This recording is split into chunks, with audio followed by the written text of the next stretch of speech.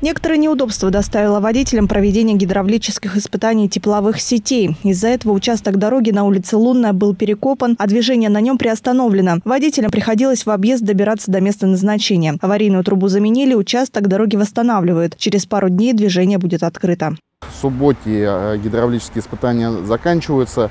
Э, мы наполняем систему теплоносителем. И с ориентировочно с субботы, с понедельника котельная уже выйдет на свой рабочий режим, начнет подавать ресурс, горячую воду жителям города Бердска в этой зоне. Договоренности с подрядной организацией, кто будет восстанавливать благоустройство, есть.